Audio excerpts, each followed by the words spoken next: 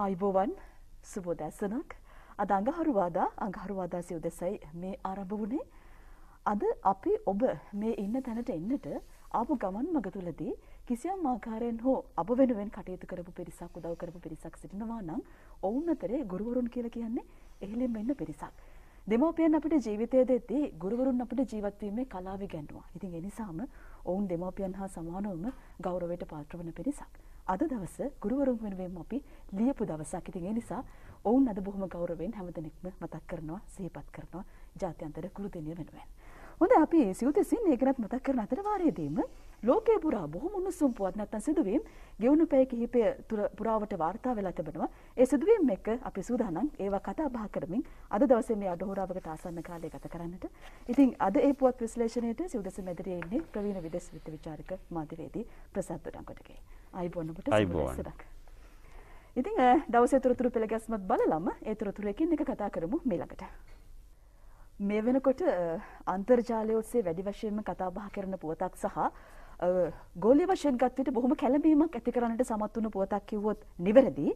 Pandora පත්‍රිකා සම්බන්ධ පුවත ගවේෂණාත්මක මාධ්‍යවේදීන් පිරිසක් විසින් හෙළි කරගත්තු මේ සිදුවීම හා සම්බන්ධව කතා බහ කිරීමේදී ලෝකයේ පුරා සිටින ප්‍රභූන් දේශපාලන නායකයින් විවිධාකාරයේ ප්‍රකෝටිපතියන් ඉතින් මොවුන්ගේ මේ මූල්‍ය මේ ගනුදෙනු සම්බන්ධයෙන් මේ සඳහන් වන පත්‍රිකා පිළිබඳ තොරතුරු මේ දිනවල විවිධාකාරයෙන් කතා බහ කරන්න ලැබෙනවා. අපි සූදානම් මේවට ඔවුන් දක්වන ප්‍රතිචාර කොහොමද සහ ගෝලීය වශයෙන් ලෝක නායකයින් මොනවද මේ ගැන දක්වන ප්‍රතිචාර කියලා.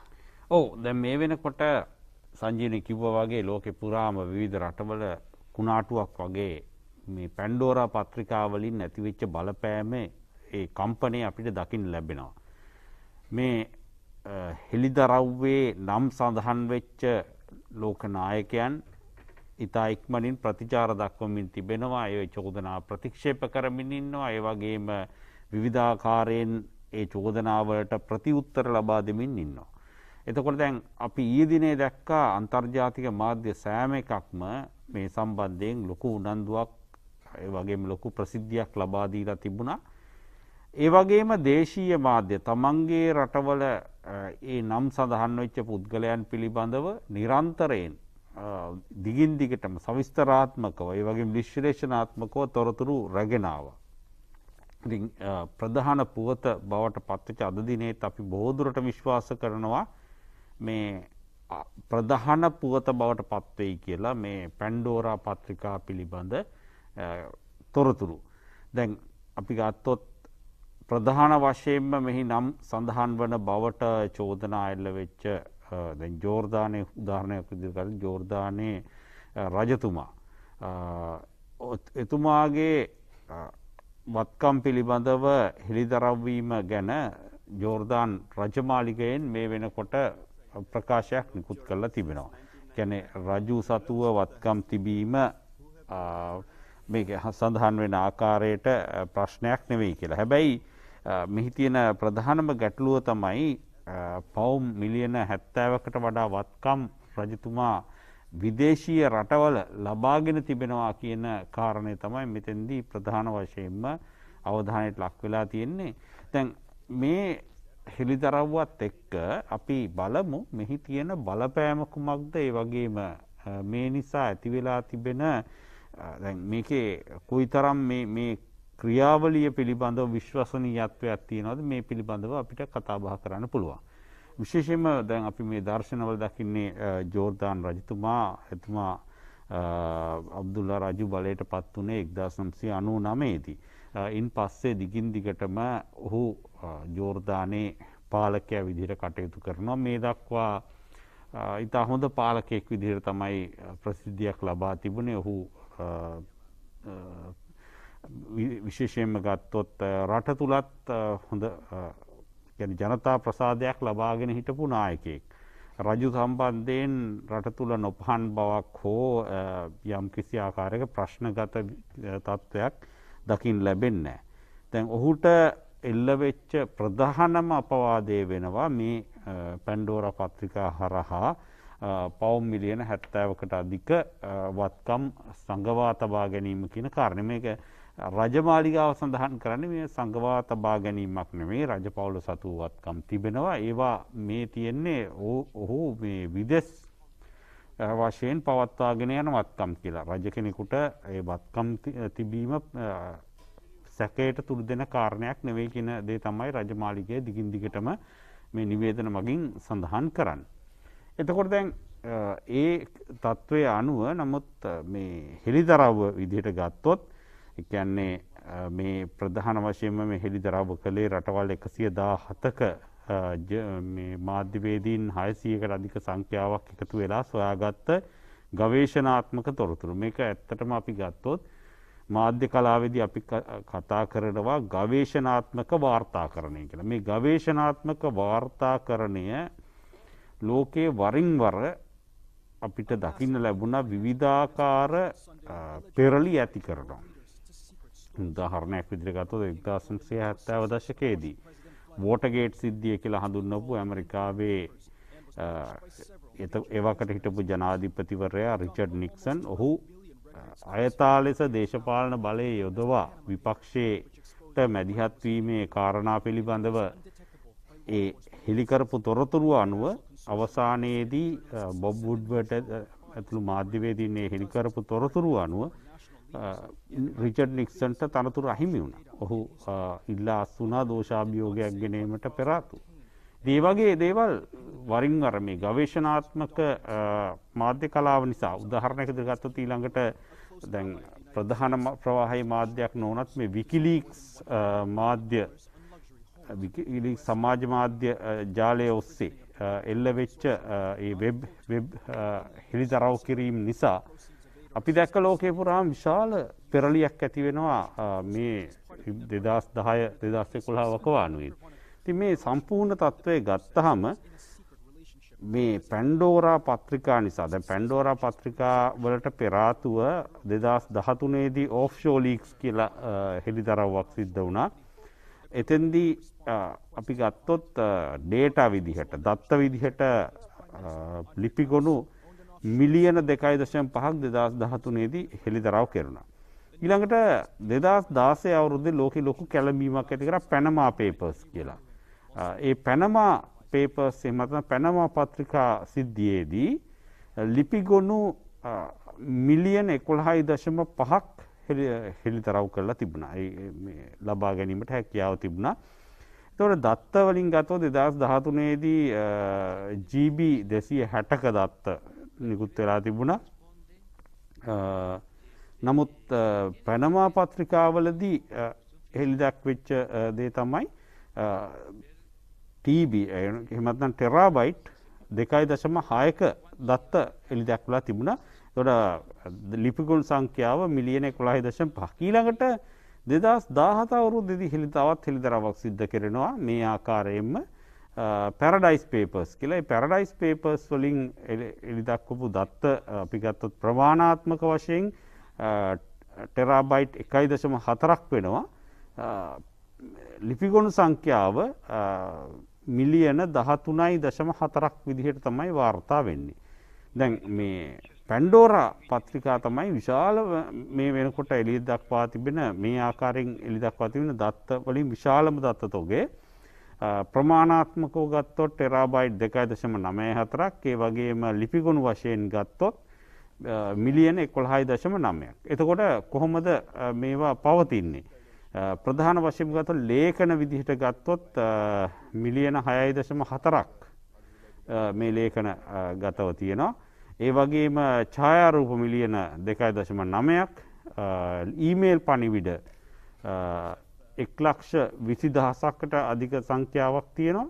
ඒ වගේම දොළොස් ලක්ෂ පන්දහසක් මේ ඊමේල් පනිවිඩ ඒ වගේම ස්ප්‍රෙඩ් ෂීට් ඔය තත් ඇතුළත් මේ ගත්තොත් එක්සෙල් ෂීට්ස් කියලකෙනවා ඒ ඒවා හාරලක්ෂ හැට හද්දාසක් එල්දක් කොල තිබෙන ඒ වගේම වෙනත් මාධ්‍ය ඔස්සේ ඒ වෙනත් මාධ්‍යගත තොරතුරු අටලක්ෂ අසූ හයදස් නමසි විස්තුනක් මේ අතරින් එලි දක්වල තිබෙනවා. එතොට බැලුව හම මේක අතිවිශාල ලිපිකුණු සංඛ්‍යා තාම මේ ගැන මේ පිළිබඳව ප්‍රධාන වශයෙන්ම මේ මූලික අවධානයක් පමණයි යොමුල අපි ගතු යන්තන් උඩින් පල්ලෙන් අත ගෑමක් තමයි සිද්ධ වෙලා තියෙන. හැබැයි මේ ගැන ලොකු තොරතුරු තවත් ඉදිරි කාලය තුළ කතා කරන්න ලැබේවි මොකද දැන් මේ වෙනකොට ක්‍රමක්‍රමයෙන් මේ තොරතුරු එලියට මින් පවතිනවා. නමුත් මෙහිදී ප්‍රධාන අපි දර්ශනවල දකින්න ජෝර්ධානයේ රජතු අබ්දුල්ල රජුට අමතරව තවත් නායකයන් ගණනාවක් පිළිබඳ තොරතුරු ඇතුළත් වෙනවා. එතකොට මේ අය අතරින් ප්‍රධානයි චෙක් ජනරජයේ අග්‍රාමාත්‍ය අන්ද්‍රේජ් බාබිස් ඒ වගේම කෙන්යා ජනාධිපති උහුරු කෙන්යාට ඒ වගේම චිලි ජනාධිපති සෙබස්තියෙන් පිනේර අසර්බයිජාන් ජනාධිපති ඉලාම් අලියව්. මේ හතර දෙනාගේ තොරතුරු විශේෂයි ඒ වගේම හිටපු බ්‍රතාන්‍ය අග්‍රාමාත්‍ය ටෝනි බ්ලයා ඔහුත් වත්කම් සැගව් බවට චෝදනාවක් එල්ල වෙනවා. මෙතන ලොකු මේ ප්‍රශ්නයක් කියන දේශපාලක්ඥ බොහෝ දෙනෙක් මෙතන මේ මූල්‍ය පැහැදිලිවම මේ නෑ. මෙතන සංජීවනී තවත් තොරතුරු මේ සම්බන්ධ මංකිවේ තවත් විශාල වශයෙන් තොරතුරු තියෙනවා මේවා තව එලියට ඒ කියල. ඕ දැම් ප්‍රධාන වශයෙන් මේ ප්‍රබල චරිත පිළිබඳව තමයි වැඩි අවධානයක්. යොමලා තින් දැම් ව්‍යාපාරිකයන් ඒ වගේම නලු නිලියන් ඔවුන් ගැනත් තොරතුරු තාම එලියට එමින් පවතිනවා. ඉතින් නමුත් අර මේ අපි ගත්තොත් දේශපාලන චරිත කියන්නේ පබ්ලික් ෆිගර්ස් කියන්නේ මහජන තාව සමඟ රිජුව ගැටන චරිතය නිසා මේ චරිත පිළිබඳව ලොකු අවධානයක් මෙහිදී යොම්මිලා තිබෙනවා. ඒවගේම රුසියානු ජනාධිපති වලදිමීර් පුටින් සම්බන්ධ ප්‍රශ්න රිජුවම ප්‍රටීන්ගේ නම සඳහන් වෙන්න නමුත් පුටින්ට සම්බන්ධ ඉනසකල්. ඕගේ අභ්‍යන්තර කණ්ඩායමට ඇතුළත් කිහිප දෙනෙක්ගේ වේ ආකාරයෙන් විදෙස්වත්කම් පිළිබඳව හෙළි දක්වා තිබෙන. මේ සම්බන්ධයෙන් රුසියානු රජය යම් නිවේදනයක් නිකුත් කරලා තිබෙනවා මෙහි විශ්වසනීයත්වය ගැන ප්‍රශ්න කරමින්. ඒවගේ පාකිස්ාන අග්‍රාමාත්‍ය අපි දැක්කා ඉම්රාන් කාන් පකිස්ාන අගමැතිවර ඊයේ ප්‍රකාශයක් කරනවා මේ පිළිබඳ වෙලාව බලල ඉතිරිතුරතුර කතා කරමු. කැලමීමක් ඇතිකර පුවතක් වන පැන්ඩෝර පත්‍රිකා පිළිබඳව. ඕ. ඇතරම හුඟත් තොරතුරු තියෙනවා කතා කරන්න කතා දැම් ප්‍රධාන පුවතට ලොකු අවධානයක් දෙනවා වැඩිද කියනත් යම් යම් අදහස් තියෙනවා. නමුත් ඇත්තටම මේ තොරතුරු ප්‍රමාණය අපි විශාල පිරිසක් මේ සම්බන්ධයෙන් මේ තොරතුරු හුඟක් අවශ්‍ය කණ්ඩායමින් නොයි නිසා තම අපිට මේ කතා නිරන්තරයෙන් අපෙන් ඉල්ලීම් කරනවා. මේ පිළිබඳව මේ වැඩිපුර කතා කරන්න කියලා යම් යම් මොකද සිව්දෙස් ප්‍රේක්ෂකයන් නිරන්තරයෙන් අපි සමග එකතුවෙන් නිසා සමහර අවස්ථාවල මේ කාරණා මූලික කරගෙන වැරදි පුවත් ප්‍රචාරය වෙනවා ඔව් ඒ වගේම අධ්‍යයන කටයුතු වල යෙදෙන විශාල පිරිසක් ඉන්න ඔවුන්ගේ අධ්‍යයන වාර්තාවලට මේවා අවශ්‍ය වෙනවා. ඒ නිසා තමයි අපි සිව්දෙස් තුලින් මේ පිළිබඳව විශේෂ අවධානයක් යොමු කරන්නේ. ඒ වගේම දැන් මේ නම් සඳහන් වෙච්ච කණ්ඩාපික කතාරා පාකිස්තාන අග්‍රාමාත්‍යවරයා ඔහු ප්‍රතිඥා දීලා තිබෙනවා රටේ මේ සම්බන්ධයෙන් නම් ඇතුළත් පිරි මොකද ඉම්රාන් කාන්ට සම්බන්ධ ඔහුගේ රජයට සම්බන්ධ යම් පුද්ගලයන් පිළිබඳවත් මෙහි හෙළිදරව්වක් තියෙනවා. ඒවගේම කෙන්යා ජනාධිපතිවරය කාර්යාලයෙන් මේ නො නිවේදන නිකුත් කල්ල තියෙනවා. ඉදිරි කාලය තුළ මේ පිළිබඳව වඩාත් පුළුල් පරීක්ෂණයක් සිදු කරනවා. ඒ දූෂණ ක්‍රියාවලින් පිළිබඳව සොයා බැලීමක් සිදු කරනවා කියන කාරණය කෙන්යා රජයත් මේ වෙනකොට නිවේදන නිකුත් කළ තිනද අපි ගත්තහම මේ වෙනකොට ප්‍රධාන වශයෙන්ම ඒ නම් හෙළිවෙච්ච පාර්ශව තමන්ගේ තමන්ගේ නිර්දෝෂ භාවය ප්‍රකාශයට පත් කරමින් විවිධාකාර වූ ප්‍රකාශ නිකුත් කරන්න පටන් ගරන් තියෙනවා. දැන් මේ පත්‍රිකාවලින් හෙළිවෙච්ච තොරතුරු සම්පූර්ණයෙන්ම නිරවද්‍යද. එහමත් නැත්තම් මේක ඉතා අපි ගත්තොත් මෙහි තියෙන වලංගු භාවේ මෙහි තියෙන විශ්වාසනීයත්වය කොපමණද? මේ ගැනත් ප්‍රශ්න මතු කරලා තිබෙනවා.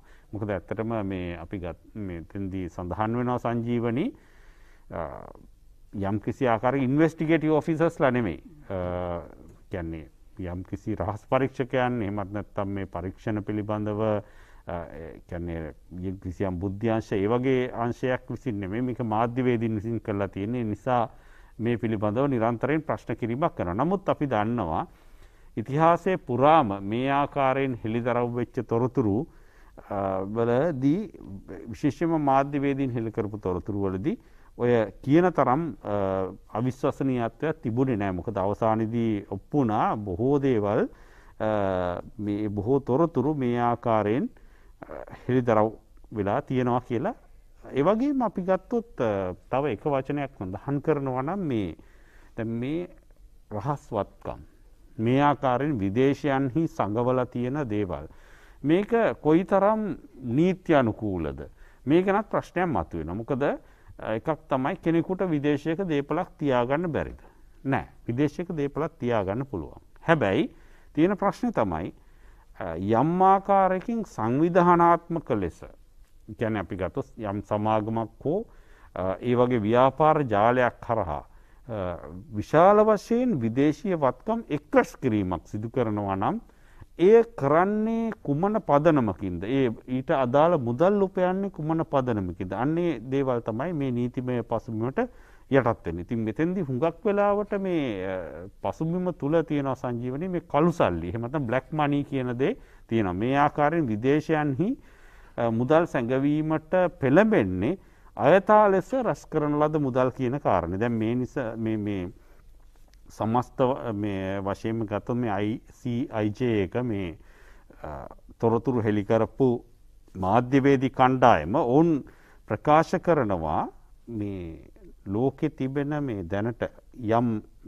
දල වශයෙන් ගත්තොත් කළු සල්ලි හෙමත් නැත්තම් හෙළි නොකරන ලද වත්කම් ප්‍රමාණය එහි වටිනාකම ඇමරිකාන් ඩොලර් ට්‍රිලියන පහයි දශම හයේ ඉඳලා ට්‍රිලියන තිස් දෙකක් දක්වා තියෙන්න්න පුළුවන් කියලා ඒ තරම් ප්‍රමාණයක් මේක හරිටම කැනෙ තවමත් මේකර මේ මරියාන අගාදය වගේ තමයි කැන කොල්පමන ගැඹුරක් තියෙනවද කියන කාරණය ගැන තවමත් නිසි අධ්‍යයනයක් නැහැ ගැන හොයන් අමාරුයි.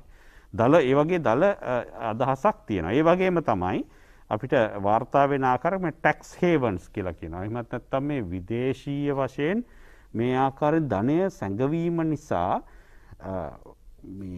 මෙතිදි හඳහන්නවා මේ ටැක්ස් හේවන්ස් කියන එක මේ බදු මුදල් තමන්ගේ රටට අයවී යුතු බදු මුදල් සැඟවීම. ඒ නිසා ලෝපුරා ආණ්ඩුවලට වසරකදී අහිමි වෙන මුදල් ප්‍රමාණය ගත්තොත් ඇමරිකාන් ඩොලර් බිලියන හයසීයක්.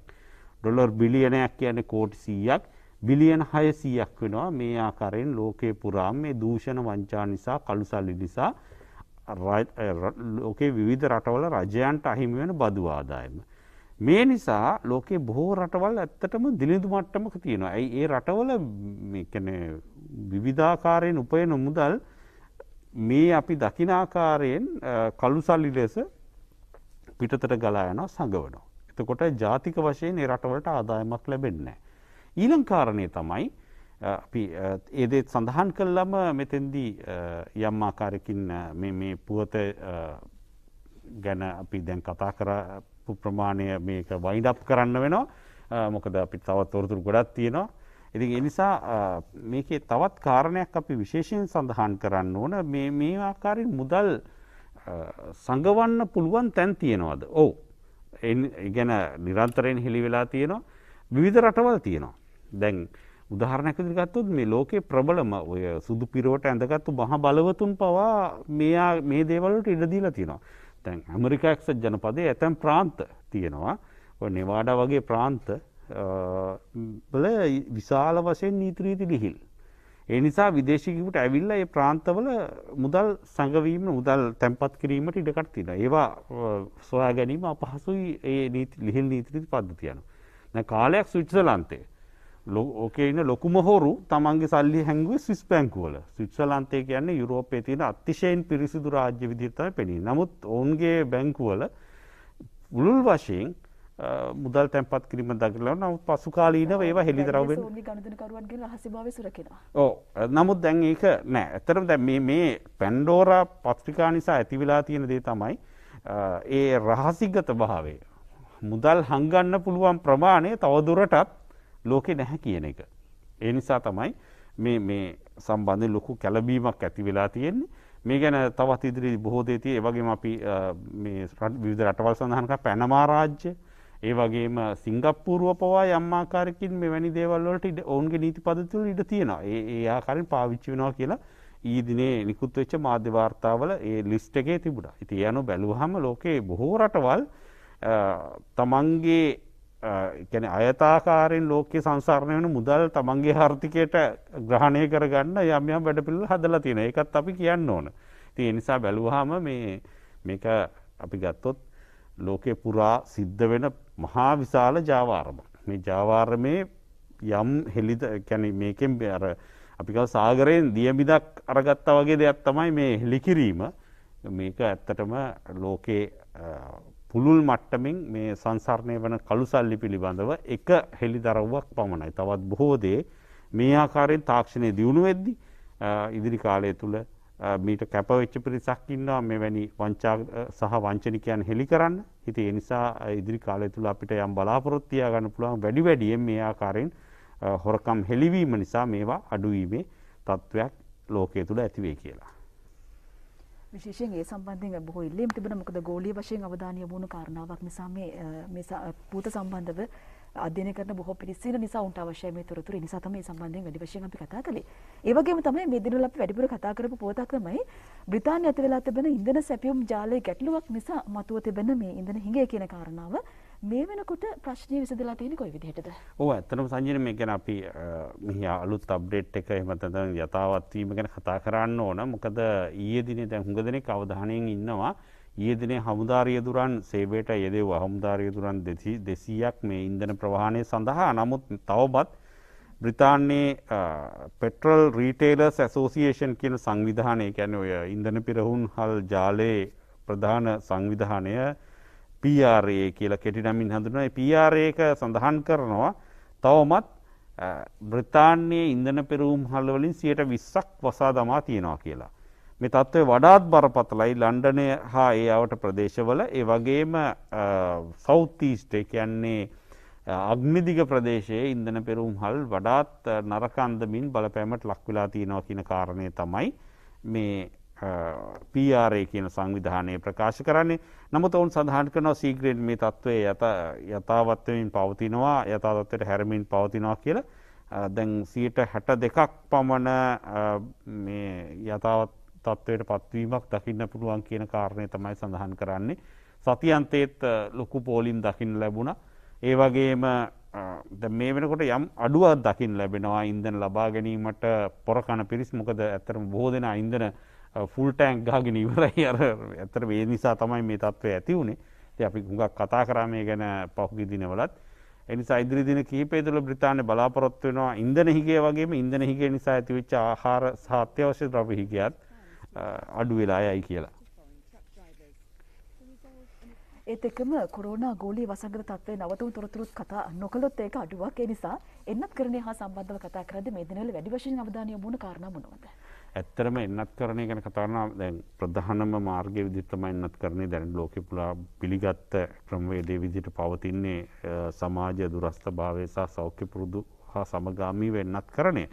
දැන් ප්‍රධාන ගැටලුවක් තියෙන්නේ මේ පුද්ගලයන් එන්නත් කරණයට යොමු නොවීම කියෙන් ප්‍රශ්නද ලෝකයේ ඉතාම බරපතල විදි තියෙන දැම් ඇමරික එක්සත් ජනපදය මේක රාජ්‍ය ප්‍රශ්නයක් බවට පත්වෙලා තියෙන මොකද අපි දන ඇමරිකා තින ෆෙඩරල් පාලන ක්‍රමයක්. නිසා ප්‍රාන්තවලට විශාල බලතල තියෙනවා. දැන් පලොරිඩා ප්‍රාන්තය සහ මධ්‍යම රජය අතර එන්නත් කරණය සම්බන්ධයෙන් ගැටලු මතු වෙලා තිබෙනවා. මොකද එන්නත් කරණය අනිවාර්ය කිරීම ඇමරිකාවේ අපේක්ෂාවයි.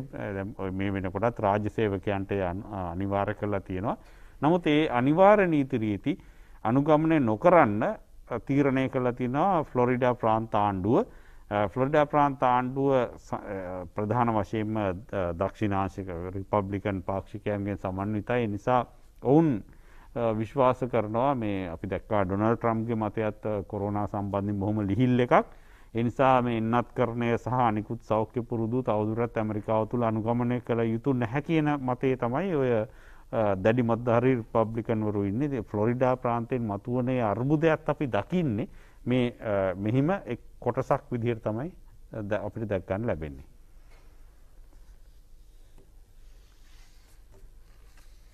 හොඳයි එහෙනම් ඒ තොරතුරුත් එක්ක අපි අදට සිව්දස වැඩසටහන නිමා කරනවා. අපි නැවතත් හෙට උදෑසන හමුවෙමු ලෝකයේ පුරා කාලීන සිදුවීම් විදෙස් පුවත් මේ තොරතුරු පිළිබඳව ඔබට දැනගන්න පුළුවන් බොහෝ දේවල්. ඉතින් අද මේ පුවත් විශ්ලේෂණයට සිව්දස මැදිරියේ සිටියේ ප්‍රවීණ විදෙස් විත්ත විචාරක මාධ්‍යවේදී ප්‍රසාද් තොටංගොඩගේ මහතා. අයිබෝන් ඔබට. ඔහුට ගෞරවයෙන් සමුගදමින් අපි අද වැඩසටහනෙන් සමුගන්නවා සුපුරුදු විදිහට ඔබට ප්‍රාර්ථනා කරනවා වාසනාවන්ත නිරෝගීමත් දවසක්. අයිබෝන්.